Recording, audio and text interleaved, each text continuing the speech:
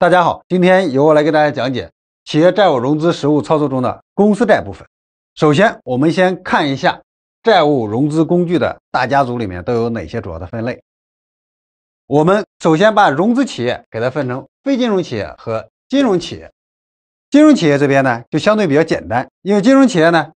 它是有主要是在人监会和人民银行监管下的金融债券和信贷资产的证券化，主要是这两类。然后非金融企业呢，它根据它的不同的监管机构和不同的发行地点，然后分成了有证监会监管下的公司债和资产支持证券，就是 ABS。然后今天我们要讲的就是其中这一块公司债券。那国家发改委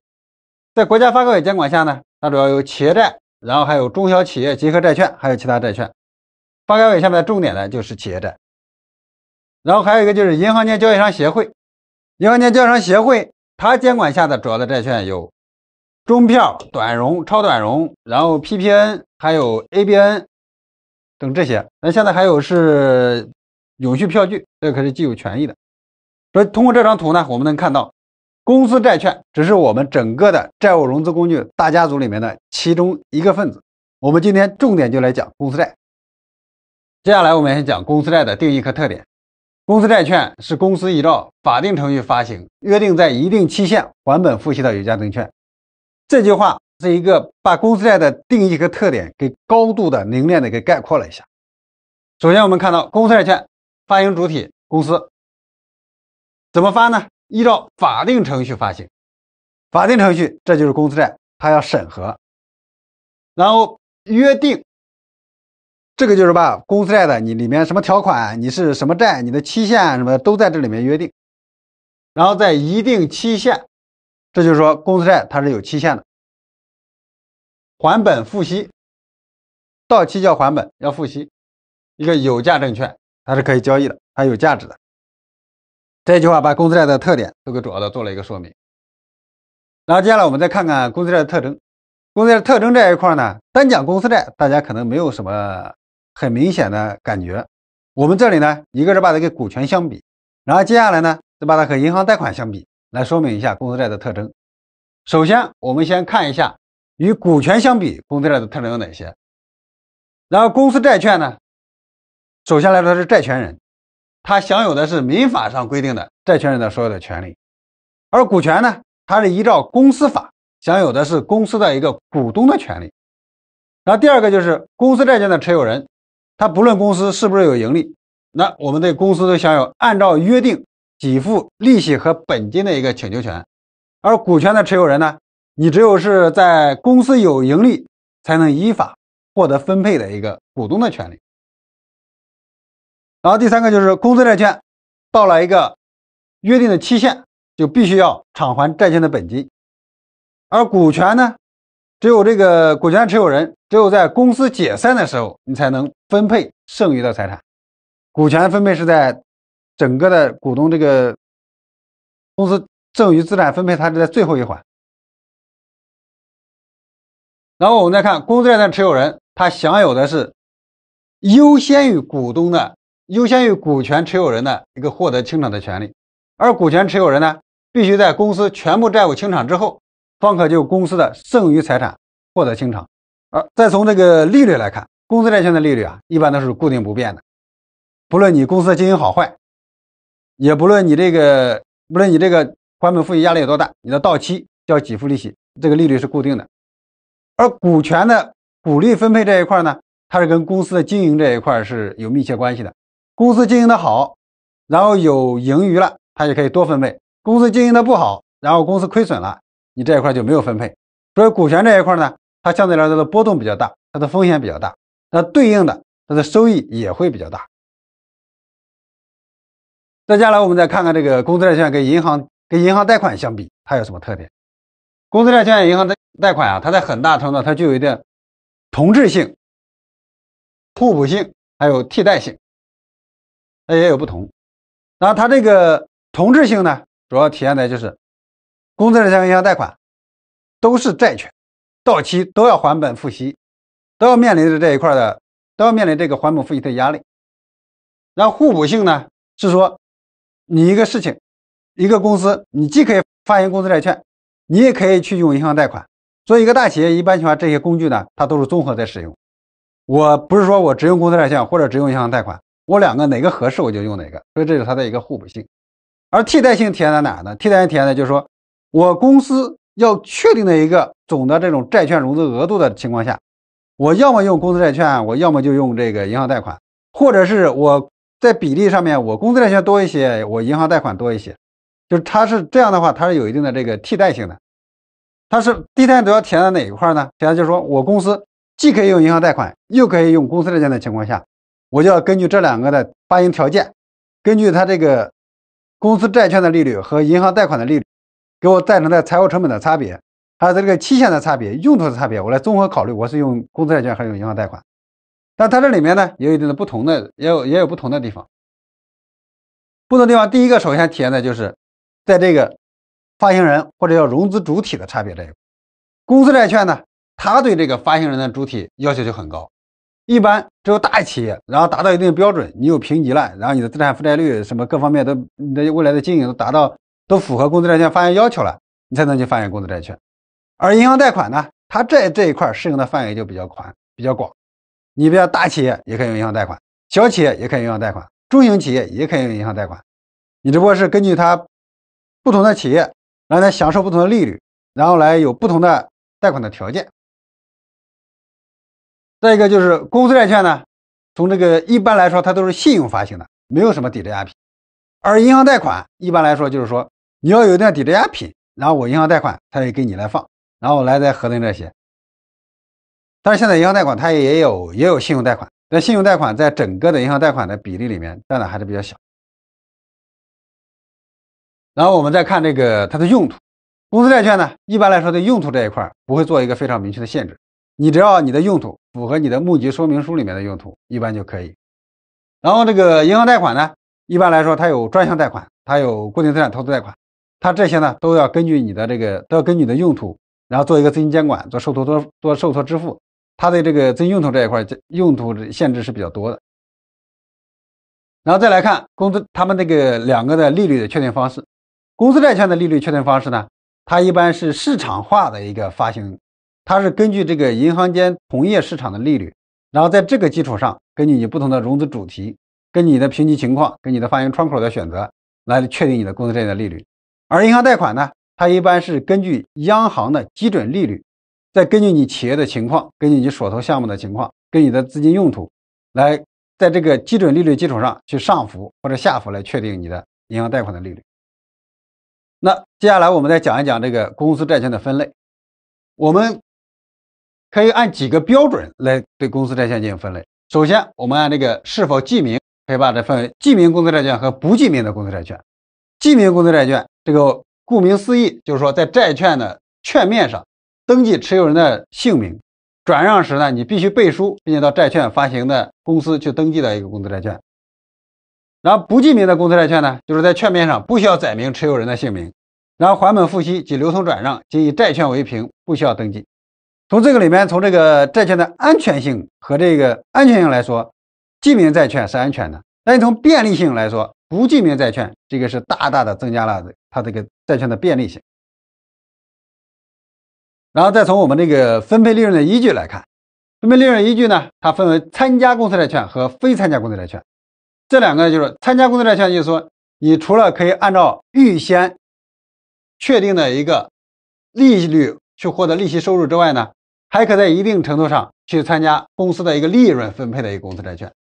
这个呢，它其实就已经有这种含权的、含股权的债券的意思了。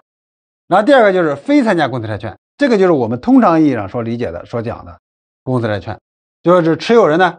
只能按照事先约定的利率来获得利息，你跟这个呢，就是跟你的公司的经营情况好坏没有关系。公司经营的好跟你没关系，公司经营的坏跟你也没有关系。你没有操作收益，你也不承担风险。然后第三个，按照这个是否可以提前赎回，可以分成这个可提前赎回的公司债券和不可提前赎回的公司债券。可提前赎回的公司债券呢，它就是说发行者可以在债券到期前购回其发行的全部或者部分债券。这个里面它一般会有一个赎回的选择权，这是对发行人的一个赎回的返现权。然后第二个就是说不可赎回的一个公司债券，就是你必须要在这个只能一次到期还本付息的公司债券。这个我们的好多国债基本上是属于这种方式。然后再看有无选择权来分类，按照这个分成有选择权的公司债券和没有选择权的公司债券。有选择权的公司债券呢，它主要是说可转换公司债券，然后有认股权证的公司债券和可退还的公司债券。而不负选择权的公司债券呢，就是债券发行人给予持有人没有把这个没有把这个上上面的这个选择权，然后给予这个给予持有人。接下来我们再讲一讲公司债券的优势。因为我们这里主要是对这个企业来讲，所以我们这边主要站在这个发行人这个角度来讲一讲公司债券的优势。对发行来说，公司债券有这么几个优势。首先呢，就是说它扩充了你的融资渠道，除了你的股权，除了你的银行贷款，它增加了一个公司债券融资这个渠道。然后呢，就是说公司债券一般情况下，因为它对的是大企业，它募资的规模都会比较大，比银行贷款的规模一般都会要比较大一些。然后第三个就是发行主体现在的拓宽，从原来的上市公司现在已经拓展到这个非上市公司，那并且行业这一块也在拓宽。然后第三个就是资金投向灵活，资金投向你按照募集说明书里面的约定，然后去进行投就进行投向就可以。然后目前呢，公司债券就是审核效率也比较高，然后审核效率比较高，直接带来的就是你的资金募集资金到位的速度比较快。然后发行利率呢，最后就是市场利率比较低的时候，发行的利率就比较低。那这里面我们就可以看到，我们为什么要发行公司债券？首先，第一个就是它可以这个扩充一个融资来源的渠道。你在原有的债权、股权的融资渠道基础上，可以新增一个发行公司债券的渠道。这一块就是对公司来说，对发行来说，这个有备无患的一个选择。最起码对公司来说，你只有好处，没有什么坏。你可以用，你可以不用。然后第二个就是公司债券的发行主体这一块明显拓宽，从原来的上市公司，现在已经拓宽到就是非上市公司。非上市公司你只要符合这个公司债券的发行条件，也可以发行公司债券。然后第二就是公司债券呢，它对房地产企业，然后非银行类的金融机构，然后这些发债呢，它也持有一个比较开放的态度。这个就是说募资规模扩大。然后，并且特殊的就它可以突破一个净资产百分之四十的限制。我们等一会儿在讲这个公司债券的发行要素的时候，我们讲我们会知道，这个发债的时候，你的债券融资余额不能一般不超过公司净资产的百分之四十。那这里面呢，因为我们就很好的利用了一下这个利用了这个监管政策，就是一边你是公司债券，一边是中票短融。公司债券是在这个证监会监管，然后中票短融是在银行间监管。这里面就是说你在中票在银行家发行的中票。发债规模已经满足百分之四十净资产限制的前提下，你仍然可以呢，再发行不超过净资产百分之四十的公司债券，这样相当于把你这个两个加一起就达到净资产限制的百分之八十。就新规里面，它弱化了这个对净资产百分之四十的一个限制。第四个就是也是非常重要的一块，就是大家为什么都喜欢发行公司债，就是它的资金投向比较灵活。然后公司债券募集资金呢，它可以用于偿还金融机构借款，然后呢，它可以用来偿还已经发行的中票、企业债等之其他的债务融资工具。然后，如果是房地产企业呢，它可以用于这个房地产项目的投资，但是这里面就说你现在新规规定，就是说你不能用于拿地，对房地产企业来说不能用于拿地。然后我们讲完这个公司债券的优势，那我们对比着来看一下公司债券的劣势。公司债券的劣势这边，我们也主要是对发行人来讲，站在发行人的角度来讲这个知识。首先一个呢。公司债券，它对发行人的要求比较高，和公司我们刚才也讲了，它对公司跟那个企跟这个银行贷款不一样，银行贷款大企业、中企业、小企业它都可以用银行贷款，而对这个公司债券发行呢，一般来说只有大企业、大公司，然后它才可以，那对企业要求是比较高的。然后第二个就是你公司债券它和股权相比，到期你需要还本付息，然后债券存续期呢，宏观环境或者是你的这个发行人的这种经营环境发生变化。这个呢，在这种情况下，你仍然要对债券持有人去做一个还本付息。他这个呢，就有可能有时候你比如说你真的这个债券，真的债券发行人他这个存续期比较长，有的三年，有的五年，有的七年，尤其是比较长的债券的情况下，他发行人跟着市场的环境变化或者自身经营的变化，他可能到期没法还本付息。这个现在的债券也比较多了，然后像这个之前的超市债，然后后来的现在的东北特钢。等等，这些债券违约的事情也是有发生。然后第三个呢，就是你公司债券，我们知道是要付利息的，利息这一块呢，它带来的是公司的这种财务成本的增加，财务成本增加呢，这带来就是你公司经营利润的减少。那第四个就是你在公司借新还旧的时候，你可能面临一个利率的不确定因素。比如我开始的时候，我企业企业之前在这个利率环境比较低的情况下，我发了大量的公司债，然后我也上马了大量的新项目。但是等到过了三五年，我这边这个第一期公司债要到期的时候，我要我要还这，我要我要对这个公司债进行偿还。然后我的新项目呢，上马的情况或者是周期比较长，或者是上马情况不理想，那这时候我要还债怎么办呢？我可能要被逼着我去发新债还旧债。你发新债的时候，这时候再发新债，市场利率可能已经上升了，或者说你发债的环境已经变化了。那这里面就两个情况：第一个，你利率上升导致你的发债成本增加；第二个，市场环境发债市场环境变化。这导致就是你这个可能新债很难发或者发不出来了，这种情况下也对你的还本付息市场环境变化对你的还本付息对你的新原来旧债的偿还带来一个很大的偿还的压力。然后公司债券劣势这一块我们也可以看到，一个就是说你这个公司债券因为它到期要还，所以到期一个还本付息压力比较大。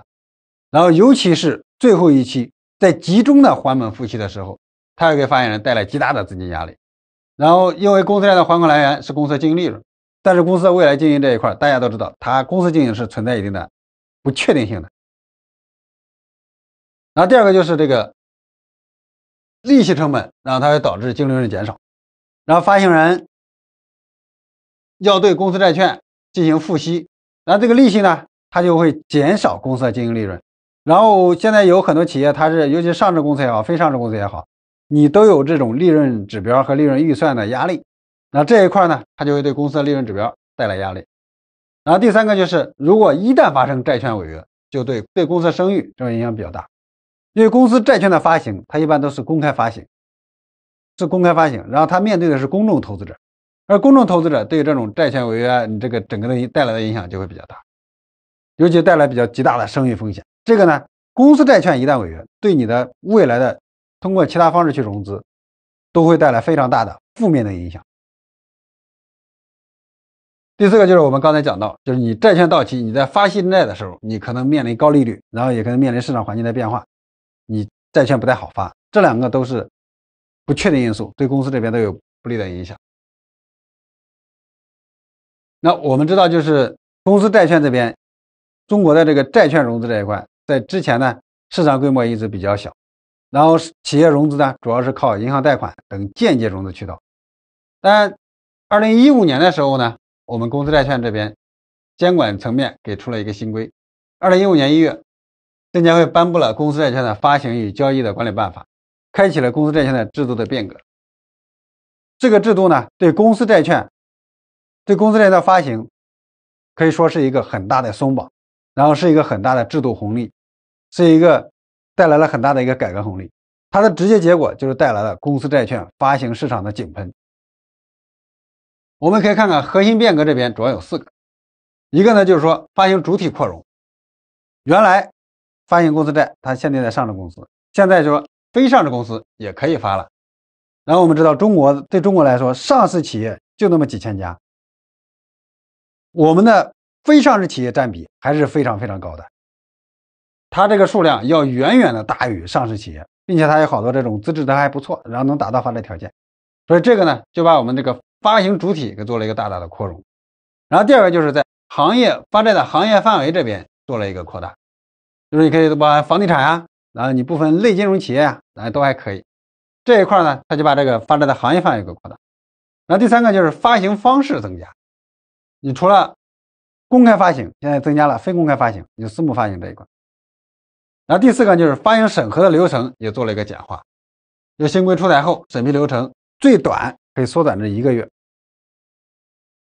然后这个政策效果，它就是说，我们这个极大的带来了一个制度制度的红利。然后从这个对这个政策现在变得非常宽松，然后公司债券的交易所债券品种的这个托管量、发行量、交易量都有了一个比较大幅的提升。那接下来我们再讲一讲这个公司债券的发行要素。按照这个法律规定，公司债券的发行呢，它有发行主体、发行规模、发行期限、发行利率，然后发行用途，然后等等其他的一些主要的主要的要素，我们这里逐一进行讲解。首先，我们来看发行主体，发行主体现在是股份有限公司可以发行公司债券，有限责任公司也可以发行公司债券。股份有限公司净对股份有限公司的净资产要求是说，净资产不低于人民币三千万元；对有限责任公司净资产要求是不低于人民币六千万元。这两个它为什么有这两个区别呢？它主要是从这个公司的组织的方式，还有这个对信息披露的要求这一块来看。股份有限公司呢，它更多的是一个资合的公司，对信息披露要求非常高；而有限责任公司呢，它是一个人核加资合的公司，对信息披露的要求呢就没有股份有限公司那么高。而我们发债呢，它本身是一个相对比较公开的行为，所以这里面就对有限责任公司的净资产是要求的是不低于人民币六千万元。要求比股份有限公司是高一些的，但是实际上来看的时候啊，从实际发行、从实际的发行情况来看，这个净资产要求是远远不够的。接下来我们再说这个，跟着第二条的时候再一块一块讲一下。然后第二个我们就看这个发行规模，发行规模这个呢，就是说从这个公开发行来说，它累计的债券发行余额要不超过公司净资产的百分之四十。然后最近三年公司的可分平均的可分配利润，然后足以支付公司债券一年的利息。这个百分之四十，我们再结合这个他们那个净资产的要求，我们呢可以大概给它测一下。你拿股份有限公司来说，百分之四十的净资产是多少呢？一千两百万。你在市场上去发一个一千两百万的公司债，你都不够这个中介机构的车马费，然后不够他的差旅费，不够大家的辛苦费这些，所以。这个呢，只是法律规定一个最低的一个要求。实际上，你去发行发行公司债，净资产基本上在十几亿、几十亿起。然后这样的话，你才能达到一定的发行规模，才能满足这个要求。然后市场也才会认可你这个发行主体，你这个发行这个发行人的实力也会比较强。然后发行规模这边呢，我们分公开发行、非公开发行。公开发行呢，它是有规模限制和比例限制的。对非非公开发行这一块呢，它就一个没有明确的要求。你只要能找到投资者，投资者认可你这个融资主体，他愿意给你，他愿意给你投资，那行，你这一块就可以发行。所以他对非公开发行这一块要求比较。我们看那个发行期限来说，发行期限来说呢，公开发行这边它一般来说是一年以上，然后绝大多数呢是五年啊、七年啊，它的长期限的会比较多一些。然后非公开发行呢，它对这一块就不做限制，而这个公开发行，它这个发行期限比较长呢。对发行人也好，对中介机构也好，都是有比较大的好处的。对发行人来说，你发行期限长，你这个发一次，你折腾一次，然后你就可以这个用一个比较长期限的钱，你可以去投一个比较长期的项目，然后这个钱呢，你可以用在期限比较长，你可以这个在这个比较长的，在这个你的能更好的配合你的企业的融资规划、投资规划，对你来说都更好匹配。而对这个参与发行的中介机构，你券商也好，然后。律师也好，评估也好，然后会计师也好，尤其是对券商来说，它的券商的承销费是等于这个发行规模乘上发行期限乘上事先谈定的一个费率，所以就是说你期限越长，哎，对券商来说，他能拿到的这个中间费用，拿到发行费用也越高。那接下来我们再看看这个公司债券发行的一个资金用途。我们刚才提到，公司债券呢，它的一个一大优势。就在于它的资金用途比较广，并且限制比较少，比较灵活。我们这里面可以看到，它主要有这么几个用途。一个呢，它可以用来偿还金融机构借款。这个偿还金融机构借款，它可以包括是有信托，然后有融资租赁啊，银行贷款等等都可以。然后第二块呢，就是它可以偿还你已经发行的其他的债务融资工具，比如像中票啊、短融啊、企业债啊等等其他一些这个这些债务融资工具。然后第三个，你发行公司债券可以用来补充流动资金，这个补充流动资金呢，它也这个要求的也比较简单啊，不需要控制框算，它也这个只要把这个合理性给说明一下即可。我们知道，在银行贷款、银行贷款中的流动资金贷款的时候，它要根据这个监管机构的规定，你严格测算你未来的流动资金需求是多少，我能给你发放的流动资金贷款是要小于这个金额的，严格来说不能超过这个金额的。那公司债券的这个流动资金补充流动资金这一块，它的要求其实还相对比较少一点。然后第四个呢，是要把它投资一个固定资产的投资项目，然后包括这个房地产项目，那这刚才也强调说，就是在目前的监管层面，你不能用于拿地，不能说你发债的钱过去拿去用于这个房地产企业拿地，这个是不可以的。然后我们刚才也讲了，就是从这个主管部门来说，它就中国证监会。刚才说这个债券大家族的监管机构有证监会，有发改委，然后有银行间交易商协会，然后还有这个央行银监会，它这个就是不同的监管机构对应着不同的债券品种。那第三个呢，我们再看这个审核期限。审核期限呢，首先我们的分成公开发行和非公开发行两个大类。公开发行里面呢来说呢，我们把它分成这个。面向公众投资者与合格投资者的一个公开发行，这个呢就俗称是大公募。那对大公募来说呢，是受理发行申请申请文件之日起的三个月内，做出是否核准的决定，这是一个标准流程，就是三个月。然后第二类呢，是面向合格投资者的一个公开发行，这个呢俗称是小公募。小公募呢，就是说在标准流程的基础上，再简化一下它的一个核准程序。审核期限呢，比上面短一个月，大概是两个月。然后第三个非公开发行这一块呢，我们又给它分成分成这个挂牌转让和非挂牌转让两种交易方式。在挂牌转让的交易方式下呢，就是它在公开发行的基础上又进一步简化，审核期限更短。然后这个呢，一般来说审核期限是在一个月左右。然后非挂牌转让呢，就是说你先发行后备案，然后这一块就把这个审核程序这一块整个给它就减掉了。从这里面我们能看到这个是。从大公募到小公募，再到这个非公开里面的挂牌、非挂牌，它的一审核期限呢是逐渐的缩短的，它对它的这个审核要求呢也是逐步的降低的，因为这里面它主要面对这个投资人的专业性不一样，你像这个里面它是面向公众投资者、合格投资者，所以它要求的中国的这个监管机构喜欢对这个大投资人做一个监管背书，所以里面公众投资者、合格投资者，他这个审核的就比较多一些。这个小公募呢，就把这个公，他就没有公众投资者，就只面向合格投资者。合格投资者经验更丰富啊，他比这个风险承受能力更强啊，所以他这个审核期限呢，就相对来说就简单一点。对这种非非公开发行呢，监管机构的态度就是说，你反正发行人和投资人一个愿打啊，一个愿挨，那这里面他就简化了这个发行的审核流程。然后我们再看这个公司债券的交易场所。公司债券交易场所呢，我们也分成这个公开发行和非公开发行来看。公开发行呢，就是说你只能是在证券交易所，然后全国中小企业股份转让系统在这里地方进行交易和转让。而这个非公开发行呢，它的场所就会多一些。除了在这个刚才提到的证券交易所和这个全国中小企业股份转让系统之外呢，还可以还可以在这个机构间的私募产品报价与服务系统，也可在证券公司的柜台交易进行转让，然后。讲完这个前面的交易场所，我们再讲讲这个公司债券的主承销商。